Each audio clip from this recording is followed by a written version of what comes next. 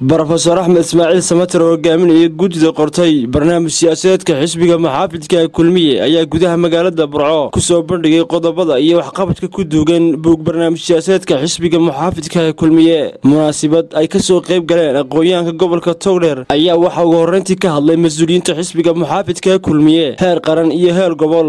Sida aad wada ogtihiin wuxuu ku gelayaa tartanka waxqabadkii ballaadhnaa ee somalilan oo dhan daafaheeda wada gaadhay iyo ballanqaadyadiisii fulay iyo runtii waxyaabo ballanqaadka aan ku jirin oo mucjisooyin ah oo runtii uu ku dhiiraday xisbiga kulmiye ee xukuumadda hadda jirtaa oo ah waxyaabo aanay qaban karin dowlad aan la aqoonsanayn dowladeennan iminka muddadu ka dhammaanaysa xisbiga kulmiye inay gobolkan togdheer ka fulisay horumar aada iyo aada u ballaaran mashaariic ballaaran wuxuun baan soo qaadanaya anugu mashaariicdaanu iska kaashanay anagu golaha deegaankaan dalanay dowladda uu madaxweynuhu toban kilomitir oo magaalada ah oo ilaa saddex iyo toban wadda oo ogtii oo magaalada ayaa dowladdu fulisay.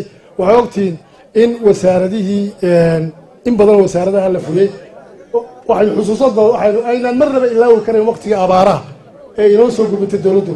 Hadday tahay ceelashii cali ciise iyo barnaamij siyaasaedka xisbiga kulmiye doorkii iyo aqoon-yahankii dhallinyarada gobolka togdheer waa noo sharaf.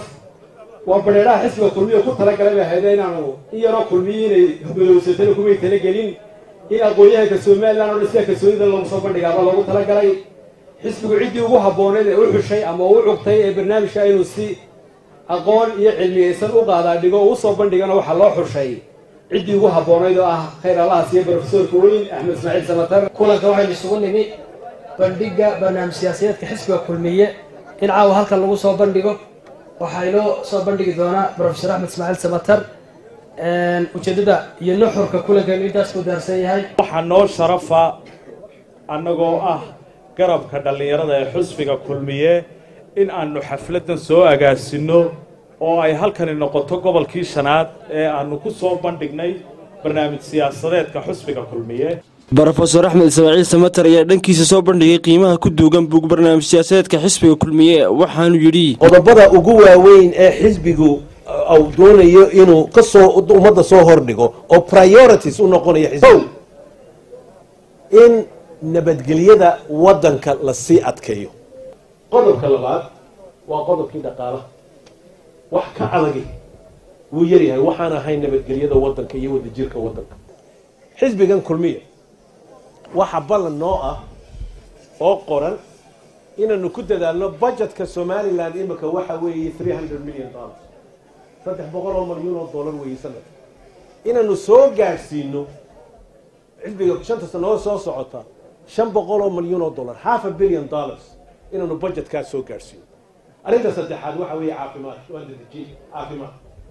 Caafimaadka somaliland aada iyo aad baa wax badan looga soo qabtay madaxweynaha maanta fadhiyay dowladdiisuna dadaal badan bay keeneen waxa inoo dhiman intaa la sii xoojiyo oo meel cusub la gaadhsiiyo budgetka maanta yaalla ee dowladda. Boqolkiiba waxa weeye afar four percent ayaa caafimaad gala. Kulmiyaha kulmiya two wuxuu ku ballan qaadayaa boqolkiiba toban in la soo gaadhsiiyo arrinta afraad aan soo gaabiyo waa waxbarashadii. Waxbarashada wax badan bay somaliland qabatay. Dowladdana ay qabatay waxaanse imika ku ballan qaadaynaa kulmiye two. Budgetku imika waxa weeye sannadkii boqolkiiba toddoba in la geliyo waxbarashada weyn. Gabagabadii waxaa su'aalo ku weydiiyey barnaamij siyaasadeedka xisbiga kulmiye. Aqoon-yahanadii ka soo qayb galay madashaasi. Yaasir cabdilaahi kahin telefishinka caalamiga star t v magaalada burco